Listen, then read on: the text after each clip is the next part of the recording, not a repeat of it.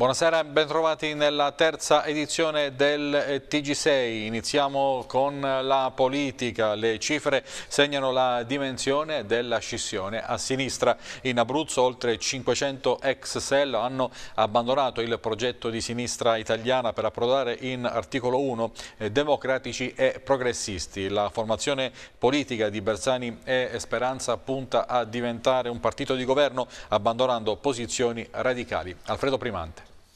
Noi stiamo dando vita ad un movimento che a livello nazionale si articola in tante posizioni, c'è la sinistra classica, tradizionale che io eh, rappresento, ma ci sono anche molte eh, posizioni vicine all'Ulivo. La nostra non è un'operazione di palazzo, noi facciamo appello ai giovani di prendere in mano questo movimento, di costruire in ogni comune, in ogni realtà un, una officina, un circolo, un movimento, un cantiere che dia vita ad un nuovo centro-sinistra. Una critica al PD del renzismo, ma anche alla scelta radicale di sinistra italiana, che va nella direzione contraria alla ricomposizione della sinistra e alla formazione di un partito di governo. Sono queste le motivazioni che hanno portato alla scissione all'interno dell'ormai defunto SEL. 20 dei 28 delegati abruzzesi intervenuti al congresso fondativo di sinistra italiana a Rimini hanno scelto di aderire al nuovo soggetto politico chiamato Articolo 1 Movimento democratico e progressista che a livello nazionale conta nomi pesanti come quello dell'ex segretario del Partito Democratico Pierluigi Bersani. In Abruzzo ha sottolineato l'ex segretario regionale di SEL Tommaso Di Febo il grosso del partito abbandonato Sinistra Italiana, nomi di spicco come quello del deputato Gianni Melilla e del sottosegretario alla presidenza della regione Abruzzo Mario Mazzocca. Quest'ultimo sottolinea la necessità di dialogare con il PD e di confrontarsi con il governo e rassicura sui rapporti di forza all'interno della maggioranza maggioranza che sostiene il governatore D'Alfonso. E quindi le tematiche e, e, tutto ciò che noi porteremo avanti saranno, saranno quelle, saranno le stesse, quelle tematiche legate allo sviluppo sostenibile, al tema della uh, disoccupazione, al tema della, del reddito minimo, insomma eh, tutte quelle, quelle cose che noi abbiamo cercato di portare avanti in questi anni e che adesso attendono comunque una risposta sempre più, sempre più immediata. Ecco, su quello ci confronteremo anche eh, dire, serratamente con la maggioranza, eh, se del caso eh, facendo valere le nostre ragioni. Proseguiamo con la politica perché ieri è stato in Abruzzo il ministro Orlando che ha lanciato la sua campagna per le eh, primarie del PD. Filippo Tronca. Il Partito Democratico è la cosa che abbiamo costruito in questi dieci anni e impiegherò tutte le mie forze per andare avanti e realizzare quello che avevamo sognato. Così il ministro della giustizia Andrea Orlando ha aperto all'Aquila la propria campagna in vista delle primarie DEM, nelle quali il prossimo 30 aprile si contenderà la segreteria con l'ex premier Matteo Renzi e il presidente della regione Puglia Michele Emiliano. Al fianco del ministro l'assessore provinciale Michele Fina, consigliere politico del ministro, ad accogliere gli orlandiani aquilani che da tempo sono critici con la gestione del partito da parte di Renzi, ma che non hanno seguito la strada scissionista. In prima fila il vicepresidente della regione Giovanni Logli, il sindaco dell'Aquila Massimo Cialente, gli assessori comunali Pietro Di Stefano ed Emanuela Di Giovan Battista, i consiglieri comunali Alisa Lem, Stefano Palumbo e Antonio Di Nardantonio. Voglio un partito, ha detto Orlando, che non subisca scissioni che sia in grado di richiamare le persone che sono state alla finestra. E ha aggiunto, non mi preoccupano tanto i singoli leader politici che sono andati via, ma i milioni di italiani che si sono orientati da un'altra parte. E ha concluso Orlando, il rapporto con Renzi è quello di un leale competitore, come sono stato un leale sostenitore di un governo di cui lui era premier. Ed ora eh, ci occupiamo dell'inchiesta eh, che vede coinvolto per riciclaggio l'imprenditore eh, lancianese Antonio eh, Colasante. Quest'oggi si è svolto l'interrogatorio in carcere di Colasante alla presenza del procuratore facente funzione Rosaria Vecchi. Colasante assistito dai difensori Milia e Di Filippo. Vediamo. Sono arrivati di buon'ora e alle 8.30 hanno varcato la soglia del carcere di Lanciano gli avvocati difensori di Antonio Colasante. L'imprenditore arrestato lunedì scorso per una maxi liquidazione non dovuta, secondo l'accusa, dalla ASL provinciale. Al GIP Massimo Canto alle 9 nell'istituto di massima sicurezza, accompagnato dal PM Rosaria Vecchi, Colasante ha risposto nel corso dell'interrogatorio di garanzia durato circa un'ora. L'uomo, con precedenti risalenti all'epoca di Mani Pulite, è a capo della Public Clean, la società che ha l'appalto di Lavanolo nella ASL. È accusato di autoriciclaggio della liquidazione di 2.130.000 euro in più del dovuto per il servizio svolto in un periodo di sei anni dal 2009 al 2015. I soldi, finiti sul suo conto attraverso passaggi di bonifici transitati in pochi giorni in altre tre società della holding, sono stati infine utilizzati per l'acquisto di una villa a Portocervo, posta sotto sequestro preventivo. All'uscita dal carcere, i difensori Giuliano Milia e Elio Di Filippo hanno riferito poche parole senza fermarsi a parlare con i cronisti. È andata bene, con la Santi ha chiarito tutto. La difesa ha chiesto al GIP la revoca della misura cautelare in carcere con la concessione dei domiciliari o di altre misure meno restrittive. Ha chiarito tutto, ma l'accusa di riciclaggio è pesante. Ripeto, ha chiarito tutto. Avete fatto richiesta per uh, la scarcerazione o ordine qualche altra misura alternativa? Sì, si sono riservati, sì. Si sono riservati. Per la scarcerazione sono riservati. Sì, sì. Grazie. Sarà invece giudicato con il rito abbreviato Fabio Di Lello, eh, accusato dell'omicidio eh, volontario premeditato di Italo Delisa, 22enne, anch'egli eh, di Vasto, ucciso con tre colpi di pistola lo scorso primo febbraio. La Corte di Assise di Lanciano ha respinto la richiesta dei difensori Giovanni Cerella e Pierpaolo Andreoni sul rito alternativo condizionato alla perizia psichiatrica e al fine di accertare l'incapacità di intendere e di volere dell'imputato. Al momento del fatto la discussione del rito abbreviato ha messo processo eh, dalla Corte inizierà lunedì 20 marzo. Al termine dell'udienza i difensori di Dilello hanno dichiarato ora dobbiamo lottare per ottenere il condizionamento di Dilello, presenteremo altri atti al fine di abbattere la premeditazione e dimostrare l'incapacità del nostro assistito. Sarà giudicato con il rito abbreviato Fabio Di Lello, 33 anni, di Vasto, accusato di omicidio volontario premeditato di Italo Delisa, 21 anni, anch'egli di Vasto, ucciso con tre colpi di pistola lo scorso primo febbraio. La Corte di Assise di Lanciano ha respinto la richiesta dei difensori Giovanni Cerella e Pierpaolo Andreoni sul rito alternativo condizionato a perizia psichiatrica, al fine di accertare l'incapacità di intendere e di volere dell'imputato al momento del fatto. Si riconosce, ha detto il presidente di Corte Marina Valente nel processo celebrato senza riprese video né foto, lo stato depressivo dell'imputato, ma non l'incapacità di intendere e di volere. Una prima vittoria incassata in aula dal PM Giampiero Di Florio, che aveva invitato la Corte a riflettere sulla richiesta dei legali difensori. La difesa, ha detto a inizio udienza l'avvocato Cerella, chiede il rito abbreviato condizionato a perizia psichiatrica, incapacità di intendere e di volere dell'imputato o capacità grandemente scemata, presentando diversa documentazione in merito. Lo chiede l'imputato? domanda a sua volta il PM di Florio. Cerella risponde: Sì, c'è la firma dell'imputato. Allora è lo stesso presidente Valente a rivolgere la domanda a Di Lello: Lei vuole procedere? E l'imputato ha risposto: Sì. C'è una contraddizione nei termini, contesta il PM, se lo stesso imputato è in grado di chiedere la perizia psichiatrica. Ancor prima la Corte, che si è ritirata due volte durante l'udienza, aveva deciso di ammettere tutte le parti civili, rigettando la richiesta della difesa.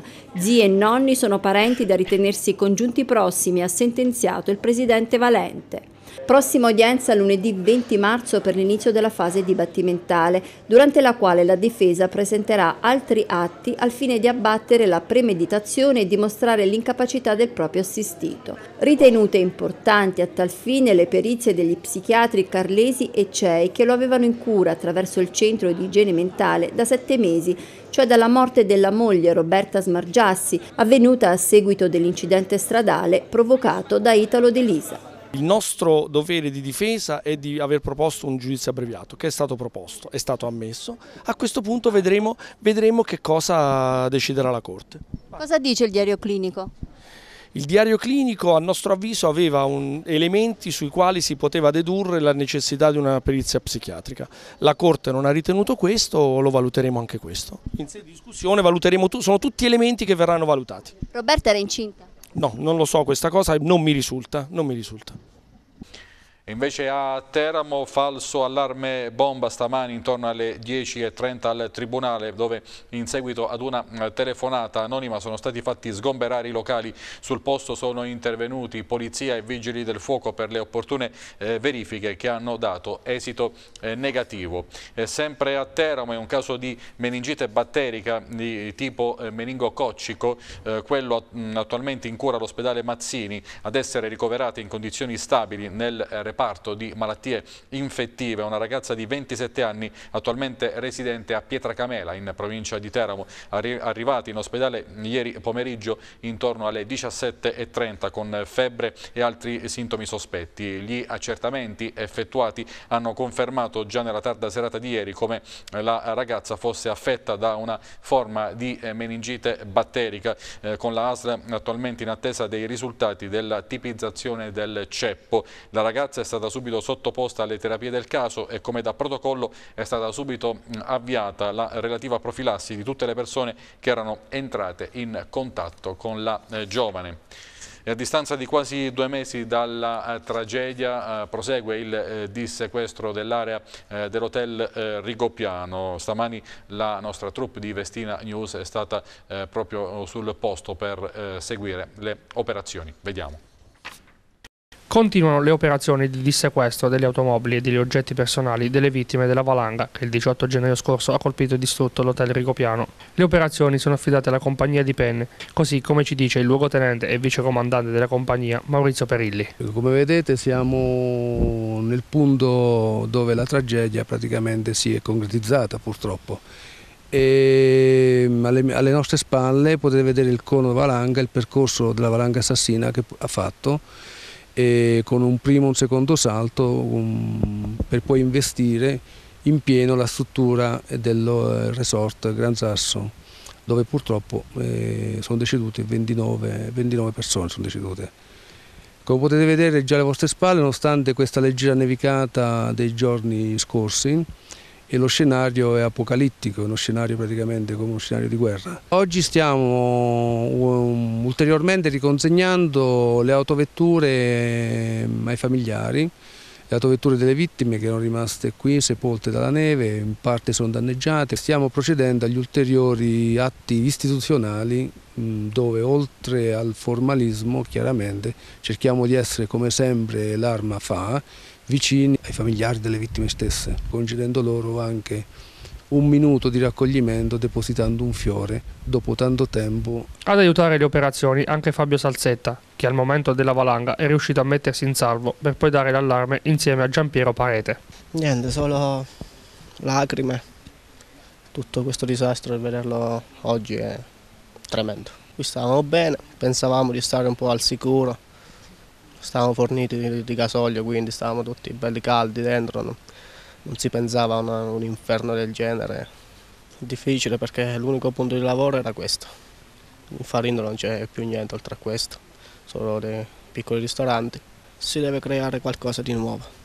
Giù in paese, ovviamente, però si deve fare qualcosa. Presente anche la signora Antonella, mamma di Alessandro Riccetti, che lavorava alla reception dell'hotel Rigopiano. Sì, uno venendo qua si rende conto della gravità della cosa, era, anzi era impossibile penso trovare, sono state anche troppe forse le persone trovate vive perché nel disastro che c'era, voglio dire, i soccorsi sono stati, non so come hanno fatto a tirare fuori persone da lì dentro, da quel macello lì. E ci credo e ho accettato questa cosa e devo andare avanti per gli altri figli perché comunque la vita va avanti e il perché, il perché non lo sappiamo. Il Corecom Abruzzo è stato e resta in prima linea nell'offrire assistenza ai cittadini che hanno subito disservizi legati alle compagnie telefoniche durante eh, l'emergenza maltempo dello scorso gennaio. Il presidente regionale Filippo Lucci si è detto soddisfatto della risposta offerta sollecitando i cittadini e i sindaci a rivolgersi al Corecom per la composizione delle controversie. Corecom è stato attivo per quanto riguarda i disservizi dovuti al maltempo, l'ondata di maltempo di gennaio. Certo, il 100% delle richieste che sono venute al Corecom sono state eh, immediatamente affrontate e sono state riattivate tutte le linee eh, telefoniche che erano collegate ai problemi del maltempo entro le 48 ore così come la, la, legge dice. Ovviamente molte amministrazioni non hanno usufruito di questo servizio, molti cittadini e quindi noi invitiamo sempre a rivolgersi al Corecom per poter usufruire di questo servizio, ma vogliamo anche dire che gli indennizi che stiamo eh, producendo attraverso le conciliazioni di questi giorni proprio per i danni del maltempo stanno vedendo alcune compagnie telefoniche molto disponibili. Eh, voglio ricordare Vodafone e Fastweb, ma con Team, eh, eh, la vecchia Telecom, diciamo che in realtà fa molta resistenza a riconoscere i danni. E questo è veramente spiacevole, soprattutto per quello che ha subito l'Abruzzo e ogni singola famiglia, ogni singolo cittadino rispetto agli servizi che non sono giustificabili dal maltempo, sono, eh, sono anche eh, colpa di chi non ha saputo gestire l'emergenza e soprattutto essere pronti nel momento delle difficoltà. Ecco, l'Abruzzo è stato investito da un'ondata eccezionale di maltempo non solo di servizi nelle telecomunicazioni ma anche nell'energia elettrica, questi probabilmente anche molto più gravi. Eh, assolutamente, quello è un problema centrale, un problema a cui eh, l'Enel dovrà rispondere sicuramente e noi ovviamente non abbiamo una competenza diretta in questo senso e comprendiamo anche le difficoltà delle compagnie telefoniche quando non c'è la luce, poi è difficile poter dare un servizio. Questo non vuol dire che nel momento in cui il cittadino però si siede al Corecom eh, parlando con eh, la compagnia compagnia per produrre un danno e un, ottenere un risultato eh, non si può essere rigidi, bisogna essere molto disponibili perché l'utente, il cittadino ha già subito molto nella fase dell'emergenza. Torniamo nell'Aquilano, riunione dei sindaci del cratere al centro dell'attenzione le difficoltà che stanno incontrando gli uffici territoriali per la ricostruzione.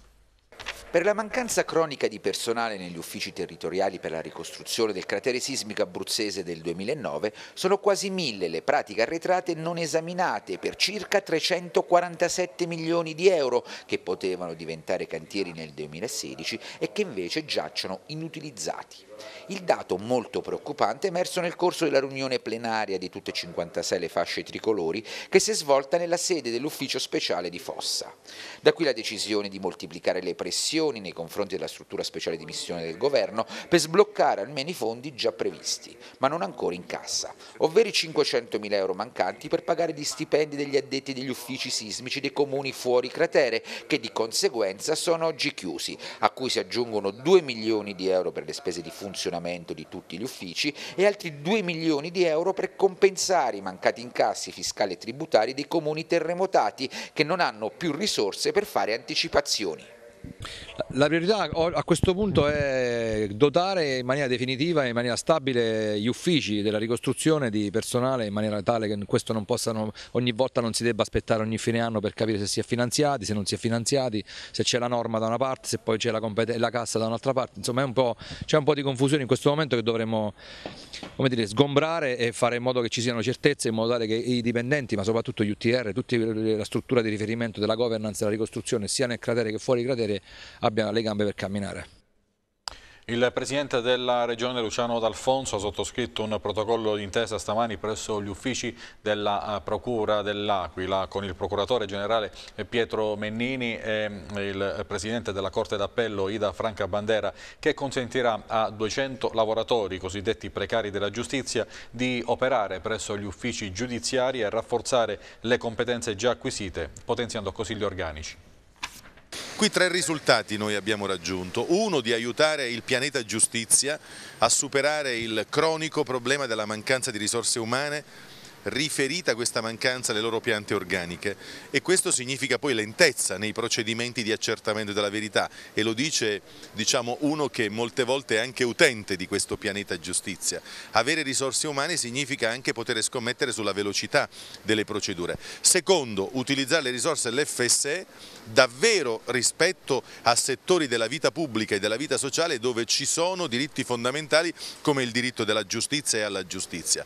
Terzo, fare in modo che una vicenda di questo tipo che si trascina da anni sul fronte di quelle forze lavoro espulse dal circuito produttivo negli anni lontani passati, finalmente, conseguendo la compiutezza formativa, possono poi aspirare ad un effettivo rapporto di lavoro. Io per questo continuerò a collaborare con quelle persone, quei ragazzi, quelle donne, quei sofferenti della conclusione del precedente rapporto di lavoro in maniera tale che possano riavere la possibilità di attivare un percorso di vita e un progetto di vita. Tornano a manifestare i pescatori di vongole aderenti al Cogevo che sono fermi dal 31 di agosto e che vivono solo della cassa integrazione. Vogliono risposte dalla Regione in merito alle politiche comunitarie che li penalizzano e rispetto alla questione dell'area marina protetta del eh, Cerrano. Chiedono poi fondi che assicurino la eh, loro eh, sopravvivenza. Fermi da fine agosto i pescatori di vongole aderenti al Cogevo chiedono alla Regione di poter tornare in mare e di poter pescare in condizioni idonee dopo le restrizioni apportate in Abruzzo al settore. Questa mattina hanno organizzato una manifestazione di protesta davanti alla sede dell'assessorato regionale alle politiche agricole e alla pesca per chiedere risposte alla Regione in merito ai fondi da destinare ad un settore che sta morendo. In Abruzzo sono 84 le vongolare che ricadono nel tratto di mare fra il Teramano e il Pescarese. Gli amici pescatori per pagare le tasse sono italiani, per versare i contributi sono italiani, eh, per eh, tutti i diritti sono italiani. Poi quando si tratta dei benefici, come diceva giustamente l'amico, per poter lavorare mettiamo i vincoli. Abbiamo fatto il parco marino del Cerrano, bene, d'accordo. Mi si spiega da parte della regione, da chi, perché con il parco marino avevano fatto il triangolo Silvi, Roseto, Pineto, i vongolari possono andare, quelli di Giulianova, Albadriatico, Tortoreto e Martinsicuro erano fuori. Il prodotto è piccolo, non c'è prodotto, poi dobbiamo sottostare alle leggi comunitarie nuove che ci impongono altri. Sì, ma ci impongono di, di, di, montare a bordo uno strumento di, di identificazione in mare. Chiediamo che, il, che la Regione ci, ci, dia una mano, che ci dia delle sovvenzioni, non so, la soluzione la devono trovare loro, la deve trovare il signore del parco, la, trovare, la deve trovare chi ci ha, ci ha atterrato. Sono 1534 le imprese che attualmente operano nel settore della moda in provincia di Teramo, un numero importante che fa intravedere eh, nuove eh, strategie di crescita, soprattutto in Val Vibrata. Se ne parlerà in un convegno organizzato dal Consorzio Atea e dalla Camera di Commercio di Teramo che si terrà a Villa Rosa di Martinsicuro il prossimo 13 eh, marzo alle 16.30. Il servizio di Tania Bonici Castelli. Restart Abruzzo Valvibrata, uno slogan che significa restiamo ad investire e produrre nella nostra terra. La Valvibrata da area di crisi sta diventando un'opportunità di rilancio economico per diversi settori, ma soprattutto per il sistema moda. Se ne parlerà in un convegno a Villa Rosa organizzato dal Consorzio Atea Eccellenze Artigiane e dalla Camera di Commercio di Teramo. Che hanno risposto in tanti e quindi c'è un grande interesse su quella vallata, la Val Vibrata, l'area di crisi e non solo, perché credo lì se riparte, ripartirà tutto il territorio. Quindi il contesto anche della nostra iniziativa, dall'iniziativa che farà il Consorzio Atea, è appunto per rivalorizzare un tessuto imprenditoriale nel settore della moda che ha dato in passato lustro a questo territorio e speriamo che torni a essere una punta di diamante di eccellenza delle nostre imprese e della nostra provincia. Nel, nella costituzione del nostro consorzio ci siamo posti cinque punti all'ordine del giorno che dovranno essere un po' le linee guida della, della, diciamo, dello svolgimento eh, di questo rientro, questo rilancio del sistema moda. Eh, dalla internazionalizzazione che assolutamente eh, c'è bisogno per le aziende strutturate in un certo modo. Internet, e-commerce, online è un altro tema nuovo Terzo punto è un punto eh, interessantissimo perché abbiamo deciso di cominciare a, a vendere anche la nostra capacità eh, tecnica, mi spiego meglio, un albo del terzismo. Quarto punto, una scuola. Quinto punto, eh, come dire, capire che la collezione nuova è un'innovazione. Intanto il presidente della provincia di Teramo, Renzo Di Sabatino, rende noti gli ultimi dati di Invitalia che ha ricevuto 347 manifestazioni di interesse da parte di imprenditori pronti ad investire in Val Vibrata oltre 700 milioni di euro. Una boccata di ossigeno per l'economia teramana che significa, tradotta in termini occupazionali, 3.700 nuovi posti di lavoro. Nel fine settimana le piazze di Pescara, L'Aquila, Vasto e San Salvo ospiteranno i gazebo di Forza Italia nell'ambito del Security Days, eh, Italia più sicura per parlare con i cittadini delle problematiche riguardanti la sicurezza del territorio. Forza Italia ha fissato in cinque punti il programma per un'Italia più sicura, nuovi accordi internazionali con la Libia e gli altri paesi dell'altra sponda del Mediterraneo per bloccare le partenze degli immigrati, maggiore utilizzo della Marina Militare e della Guardia Costiera contro scafisti e trafficanti di uomini, più poliziotti e carabinieri di quartiere militari a presidio delle periferie, maggiori poteri ai sindaci e alla polizia locale ed infine istituzione di un albo delle moschee e degli imam autorizzati a predicare in Italia oltre alla revoca della cittadinanza ai fiancheggiatori del terrorismo islamista. Nel weekend i rappresentanti azzurri scenderanno in piazza a Pescara, L'Aquila, Vasto e San Salvo per incontrare i cittadini nell'ambito dei Security Days. Diciamo che fra le priorità che il nostro movimento politico, appunto Forza Italia, ha ritenuto di mettere in campo c'è quello della sicurezza, della sicurezza nelle nostre città, la sicurezza dei cittadini, che è eh, uno dei temi sicuramente eh, per i quali la, la, gente è particolarmente sensibile.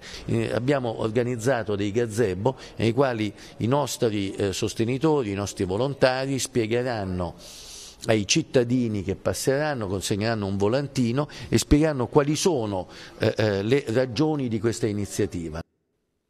L'associazione Pescara Mi Piace torna a sollecitare l'amministrazione sui cantieri dei lavori pubblici. Eh, su eh, Viale Primavere, al confine con Francavilla, è fermo il cantiere per i lavori anti-allagamento. L'associazione chiede tempi certi per non pregiudicare l'attività turistica sulla Riviera Sud. Siamo all'incrocio fra Via Celommi e Viale Primovere, ai confini eh, tra eh, Francavilla e Pescara. C'è un cantiere per il piano anti-allagamenti che è fermo quali sono le motivazioni perché questo cantiere non procede, è aperto dalla fine di novembre. È quello che ci diamo anche noi, un cantiere fermo come questa amministrazione simboleggia l'incapacità di un'amministrazione che pur avendo ereditati lavori come questo per il piano anti-allagamento non è capace neppure di portarli a termine.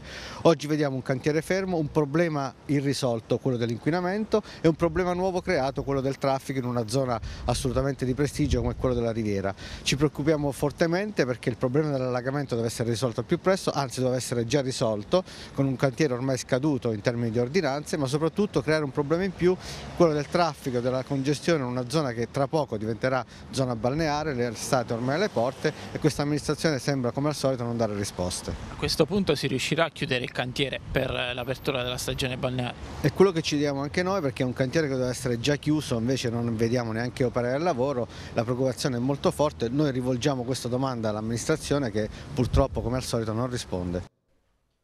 Apriamo ora la pagina dello sport e parliamo di Pescara. Il presidente Daniele Sebastiani ha fatto il punto della situazione sulla questione societaria, la trattativa con Danilo Iannascori a due giorni dal match interno con l'Udinese la questione societaria resta di stretta attualità in Casa Pescara, presentata nella tarda serata di ieri dall'ex amministratore delegato biancazzurro e attuale socio di minoranza Danilo Iannascoli, un'offerta per rilevare il 70% delle quote azionarie del Pescara facenti capo al presidente Daniele Sebastiani. Ora l'offerta, top secret, dovrà essere valutata dal massimo dirigente biancazzurro. Proposta che qualora fosse ritenuta congrua potrebbe aprire il fronte della due diligence che permetterebbe la l'analisi del bilancio e in generale del patrimonio della società prima dell'atto del passaggio definitivo di quote. Sebastiani proprio ieri si era espresso sulla vicenda usando però parole molto chiare. Ma se l'offerta non sarà quella che mi, mi farà piacere ricevere come, come, sia personalmente che come rappresentante delle altre quote, eh, la rimanderemo al mittente e andremo avanti come stiamo facendo fino adesso. Siccome le quote sono le mie, quindi avrò anche il diritto di decidere se voglio vendere, a che prezzo voglio vendere, dopodiché nel momento in cui si dovesse aprire una due diligence, eh, è chiaro che la due diligence non serve per dire ti butto lì un'offerta di 10 e poi dopo la due diligence ne do due perché si torna punto a capo perché io voglio quello che voglio io, non quello che dice qualcun altro. Siccome la società, le quote sono le mie, deciderò pure io a chi vendere e come vendere. Sebastiani smorza poi i toni sulla querel tra il procuratore Alessandro Moggi e Zeman, tensioni che non si ripercuoteranno sulle scelte di mercato noi prendiamo i giocatori non perché ce li ha oggi o ce l'ha, non lo so, Raiola o ce l'ha, cioè prendiamo i giocatori che hanno, rispondono a certe caratteristiche. Se poi questi giocatori li dovesse avere, li dovesse avere Moggi li prenderemo ugualmente, se non ce li dovesse avere non li prendiamo. Zeman è una persona talmente intelligente avanti con la testa che eh, pensa al bene delle squadre che allena, non alle persone. Ed ora la Lega Pro nel pomeriggio ha parlato il tecnico del Teramo Guido Ugolotti, i biancorossi preparano la eh, delicata trasferta di Bergamo allo stadio Atleti Azzurri d'Italia, eh, domenica alle 16.30 il match contro l'Albino Leffe. È indubbio che noi tutte le partite le prepariamo per fare risultato.